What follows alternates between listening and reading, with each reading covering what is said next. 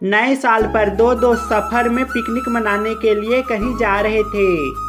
तो रात हो गई तो वहीं दोनों टेंट लगाकर वहीं सो गए। रात को तभी एक दोस्त की नींद खुली तो उसने दूसरे दोस्त को जगाकर कहा, आसमान की तरफ़ तुझे क्या नज़र आता है? दूसरा, बहुत सारे सितारे। पहला, इससे तुम्हें क्या पता चलता है? दूसरा, आसमान कितना खूबसूरत है। पहला, अबे न्यूटन की औलाद हमारा टेंट चोरी हो गया।